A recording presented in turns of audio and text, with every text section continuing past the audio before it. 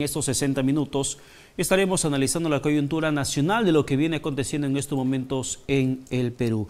Y es que no podemos ignorar lo que posiblemente termine sucediendo a las 00 horas del día de hoy, o perdón, del día de mañana, lunes 27, con el tema del paro de transportistas de carga pesada que vienen anunciando desde hace un par de semanas atrás debido a la mesida que sienten por parte del gobierno en resolver las problemáticas que han planteado hace bastante tiempo. El tema de paro de transportes no es una situación reciente, no es una situación que surgió de la noche a la mañana. Las demandas que plantean los transportistas de carga pesada y en general, en realidad data de hace muchos años. Y de este gobierno, por lo menos es la tercera vez que se va a hablar sobre el mismo tema. Y lo que mencionan ellos es que, aunque hayan puesto en conocimiento del presidente Pedro Castillo, aun cuando él era candidato a la presidencia, sobre esta problemática, se hizo poco o se hizo nada para que se pueda resolver. Es por esa la actitud que ha conllevado a que los transportistas se muestren renuentes a cualquier nuevo proceso de diálogo. ¿Diálogo para qué? Dicen ellos. Si hemos conversado a lo largo de todos estos meses, desde el año pasado, cuando se le planteó la problemática al gobierno, lo hemos hablado, hemos levantado actas, hemos suscrito actas, hemos puesto planteamientos, nuestras demandas y el gobierno ha dicho que lo va a solucionar y hasta el momento no lo ha hecho. ¿Diálogo para qué? Dicen ellos. Si lo que nos surge son medidas inmediatas para que esa situación no pueda pasar a mayores. Más aún, entendiendo en torno al tema del precio del combustible que en este momento se viene generando eh, en un contexto de crisis económica y que afecta mucho más los costos operativos de las empresas de transporte de carga pesada y de los propios consumidores finales que somos nosotros. ¿Diálogo para qué? Dicen ellos si el gobierno tenía en su mano la solución desde abril pasado de este año y no han hecho absolutamente nada. Yo conversé con varios dirigentes que están sumándose a esta protesta que iniciará a las 00 horas del día de mañana, lunes 27.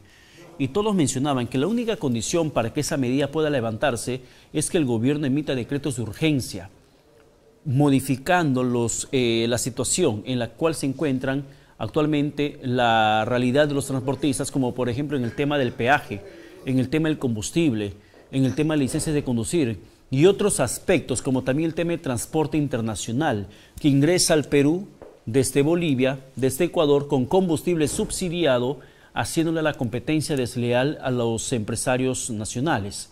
Entonces, esos, esos temas conoce el gobierno desde hace meses, no es de ahora. Lastimosamente, como mencionan ellos, tres meses han pasado desde abril, mayo, junio, que ya se nos acaba en esta semana, y no han hecho absolutamente nada. Es el término que han utilizado una y otra vez ante la insistencia por nuestra parte de saber qué cosa avanzó el gobierno. Y todos dicen, nada, no se hizo nada. Entonces, ¿cómo buscar nuevo diálogo, dicen los dirigentes, si es que lamentablemente no hay mayor disposición para solucionar la problemática? Por parte de aquellos que defienden al gobierno o desde la posición del gobierno, el argumento termina siendo una figura repetida, que son problemas que se heredaron de otros gobiernos, no es un tema reciente, no es un tema nuevo desde muchos años y que no pueden resolverlo en poco tiempo. Entonces uno se pregunta, ¿para qué suscriben actas de compromiso de resolución si no lo van a dar cumplimiento? ¿Para qué firman un documento en la cual el gobierno dice, lo vamos a hacer y finalmente no lo hace? Si siempre que se intenta conversar, el gobierno da su posición a favor de esas demandas y al final de, a final de cuentas ni un solo compromiso asumido se termina materializando. Consecuencia final, mañana paro de transportes de carga pesada. Y luego, además de esa situación, puede venirse el paro de transportistas urbanos regulares en Lima Metropolitana, que también están anunciando probablemente plegarse a esta protesta desde el 4 de julio. También esa misma fecha los agricultores. Pero para el 28 de marzo, por, 28 de junio, por ejemplo, este martes, estarían anunciando también desde el SUTEP una movilización también en contra del gobierno. Menudo panorama complicado el que se le presenta al gobierno del presidente Pedro Castillo, que tiene mucho que resolver en estos momentos ante gran expectativa que ha generado sus promesas de campaña y los anuncios que hace cada vez que interviene en sesiones de Consejo de Ministros descentralizados. Bien, en estos momentos dejamos de lado este comentario y vamos a entablar la comunicación con el parlamentario del bloque magisterial del Congreso de la República, el parlamentario Edgar Tello, que por cierto ha sido compañero de luchas sindicales del presidente de la República, Pedro Castillo.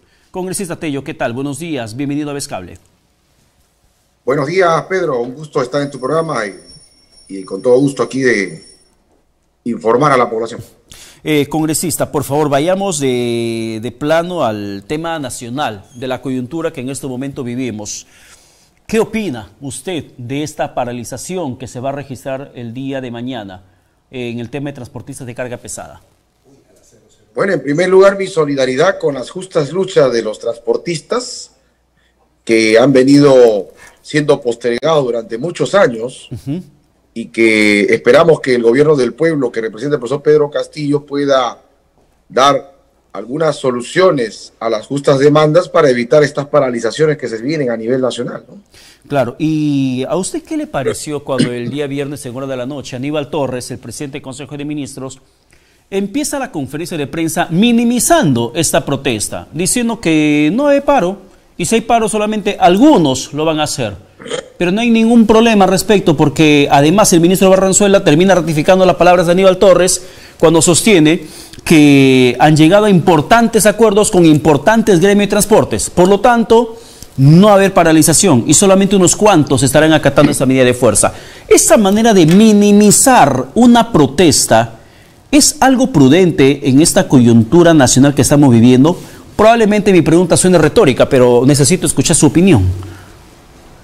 Bueno, al respecto, toda lucha de los trabajadores, en este caso de los transportistas, por más que sea mínima, mediana o sea de mayor envergadura, hay que respetarlos como trabajadores. Yo como dirigente sindical, indudablemente también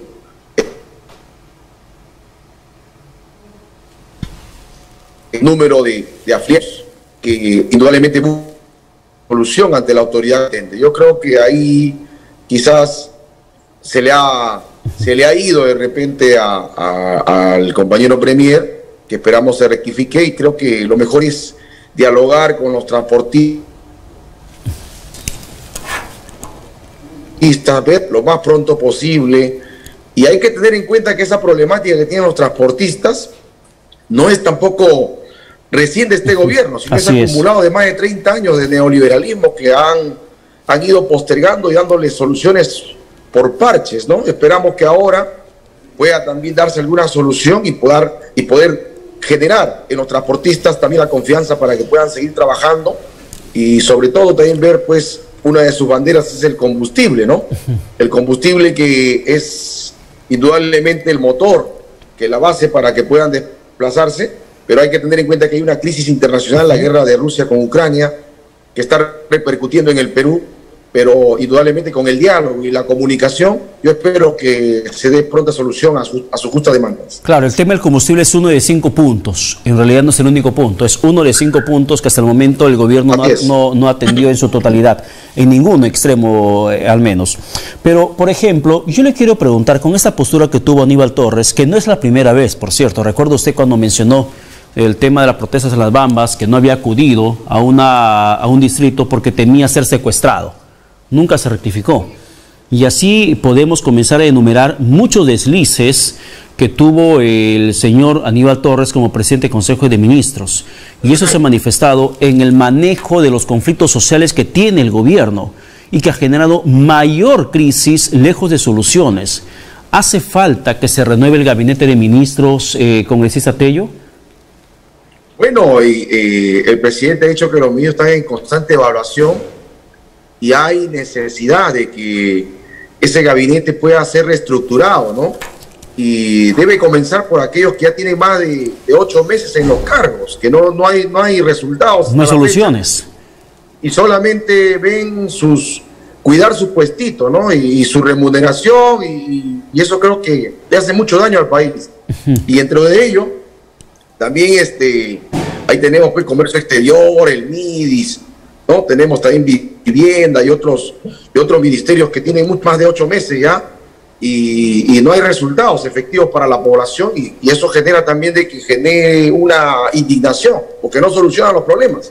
Claro, y, bueno, y los demás integrantes del gabinete también pues están en, en permanente evaluación, ¿no?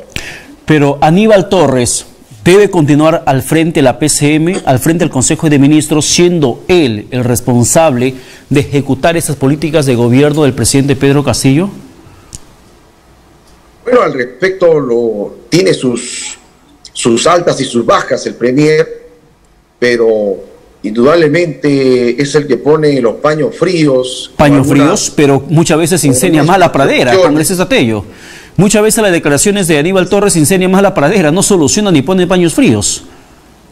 Sí, pues indudablemente hay necesidad que eh, reflexione el Premier para poder sacar adelante pues el, gabinete y el gobierno en este proceso que, está atravesando nuestro país nuevamente una de una paralización que viene de los transportistas y esperamos pues que no haya de otras organizaciones y se pueda atender a tiempo, ¿no? Claro, aunque otras organizaciones están anunciando que se estarían plegando, pero en los siguientes días. No el día de mañana, pero sí en los siguientes días. Bueno, eh, quien sí se va a sumar mañana es el gremio de, de vehículos de transporte terrestre de pasajeros, los buses que dan ese servicio de viaje terrestre. Ellos sí se van a estar sumando. Sin embargo, antes de entrar a otro tema político, yo quiero centrarme en lo que estamos comentando. ¿El Congreso de la República tiene alguna responsabilidad en esta crisis que perdura en todos estos meses? Y le hablo de ese Parlamento, ya no hablemos de otros parlamentos, hablemos de este Parlamento. ¿Este Congreso tiene responsabilidad directa también en la crisis que se viene ahondando en el país? Bueno, al respecto se viene atendiendo la demanda de los de la población, de los trabajadores en las comisiones de manera multipartidaria, ¿no? Y quizás pueda haber responsabilidad en la mesa directiva de no agendar proyectos que también necesitan de su atención inmediata, ¿no? Puede ser, puede ser esa la, observación quizás que yo llamo en todo caso a, llamar, este, a aclarar y ver qué proyectos pendientes hay, pero en lo general se está trabajando de manera multipartidaria en las comisiones, aprobando lo que beneficia a los trabajadores, a la población peruana y acelerando también de que pueda pasar al Pleno para que inmediatamente pueda ser ya una ley y entre en vigencia en favor de todos los peruanos. Aunque el presidente Pedro Castillo, su compañero de lucha, constantemente menciona de que el Congreso de la República no agenda los proyectos de ley que envían desde el Ejecutivo al Congreso de la República.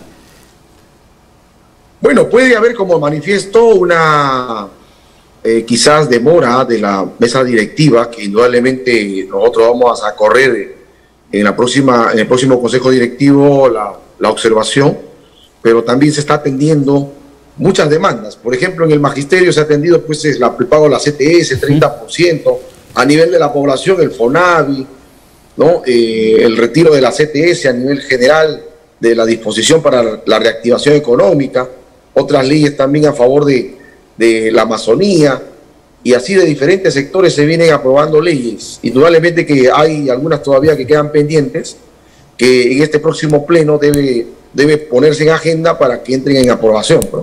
Y dentro de la demanda que tiene el presidente Castillo públicamente es referente a este proyecto de ley de la masificación del gas.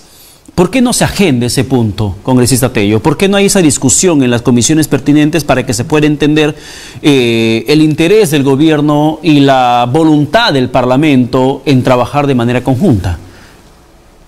Bueno, hay un llamado al presidente de la Comisión de Energía y Minas, ¿no? ¿Qué está sucediendo? Porque ese proyecto de ley viene presentado desde el mes de noviembre. Y hasta la fecha, eh, no sé qué está sucediendo con el presidente de la Comisión de Economía, o perdón, de Energía y Minas, y los integrantes también que no están impulsando ese, ese proyecto del Ejecutivo. Y ahí también en esa Comisión de Energía tenemos también maestros ¿no? del bloque magisterial que están impulsando, pero bueno, pediré información qué está, qué está sucediendo porque hasta el momento no lo, no lo agendan en esa Comisión de Energía y Minas. ¿Y el problema solamente, solamente es Parlamento o no hay una decisión al menos del gobierno de sentarse o participar en las comisiones parlamentarias que lo podrían hacer de manera legal. Nadie le impidiera a un ministro de Estado acudir a una comisión parlamentaria para que pueda participar de, esa, de esos debates en la cual pueda defender los proyectos que el presidente Castillo ha presentado. ¿Por qué no lo hacen desde el gobierno? Le pregunto a usted que es bastante cercano al presidente, además que son una bancada que defiende al gobierno. Bueno, eh, estamos en un espacio democrático como lo, lo manifiestas, tienen las puertas abiertas para presentarse cuando gusten. Y bueno, yo un llamado pues a que dejen de cuidar su escritorio, su chambita, su remuneración pues de 30 mil soles y se pongan a trabajar, se pongan la camiseta de la población, salgan a caminar al campo, a la cancha y, ya no estén en, la burocracia del escritorio, ¿no? Ese es un llamado que yo le hago y como usted dice, tienen las puertas abiertas para venirse acá a las comisiones a trabajarlo juntos. Claro, y así de esa forma podemos un poco también entender que hay una voluntad de trabajo conjunto que tantas veces lo menciona desde el Congreso como también desde el Ejecutivo. Yo quiero ir al plano político, bueno, plano legal básicamente, que envuelve al presidente Pedro Castillo, las investigaciones que hay en su contra y además lo que tendría que suceder el día de mañana respondiendo a la Comisión de Fiscalización. ¿Qué opina usted? ¿El presidente Castillo tiene que seguir dando la cara frente a estas imputaciones gravísimas en su contra o tiene que limitarse solamente a responder al Ministerio Público?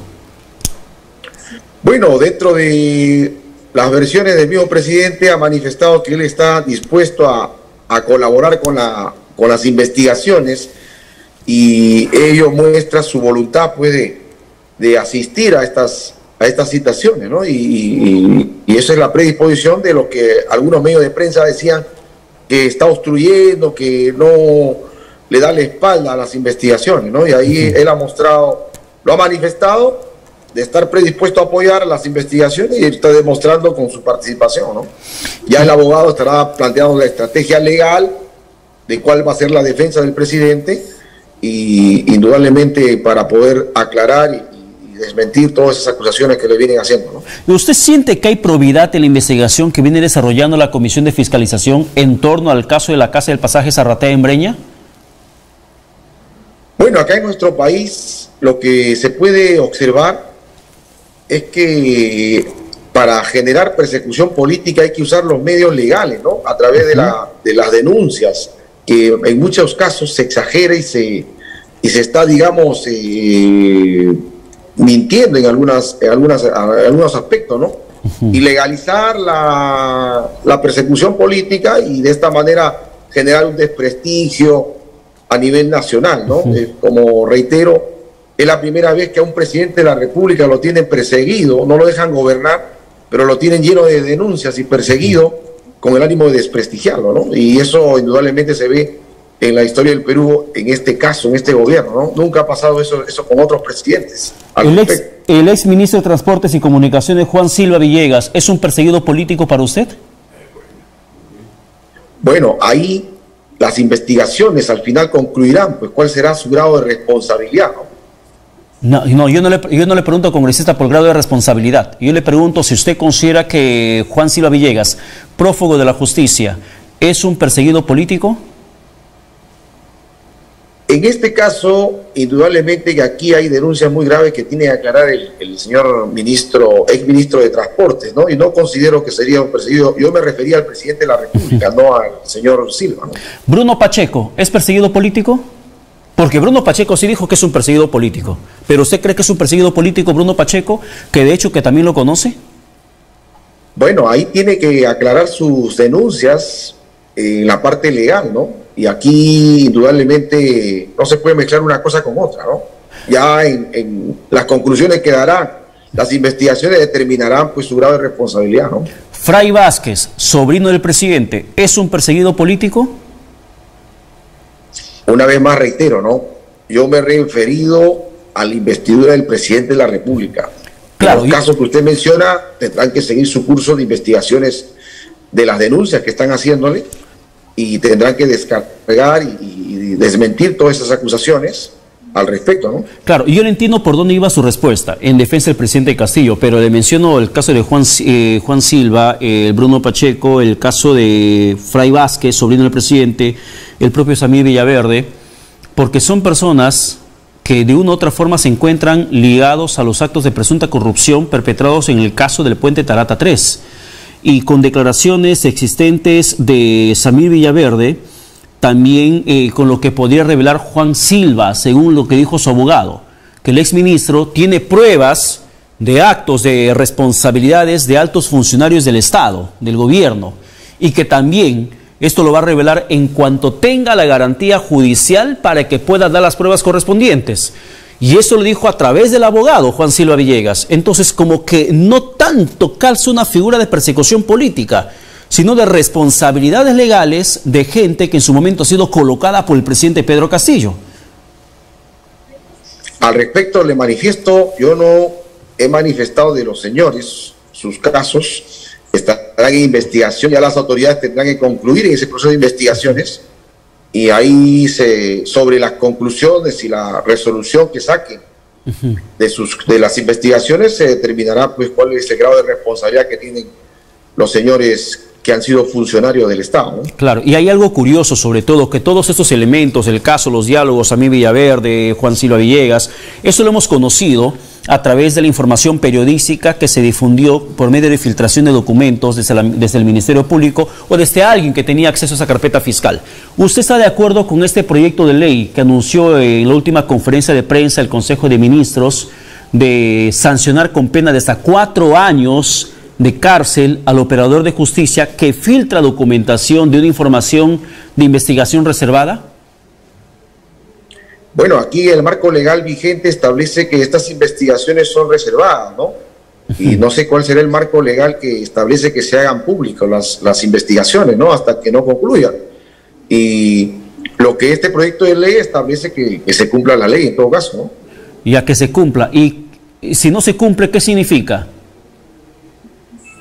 Si no se cumple la ley, había, habría pues un, desacato, ¿no? claro. un eh, desacato obviamente una falta, ¿no? Una falta hasta podría llegar hasta un delito.